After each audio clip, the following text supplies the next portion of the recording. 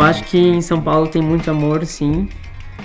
Mas eu não sei se, assim, para mim, o lugar que eu vivo hoje, eu moro na Vila Leopoldina, é um lugar que, que, me, que me lembra amor, amor de família.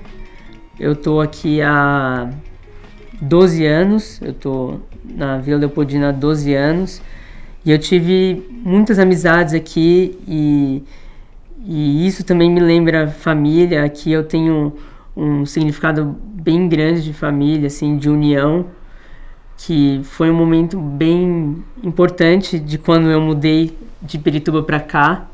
Eu fiz muitas amizades aqui na Vila Leopoldina e principalmente no prédio que eu moro atualmente, que eu sempre morei aqui a, desde quando eu me mudei.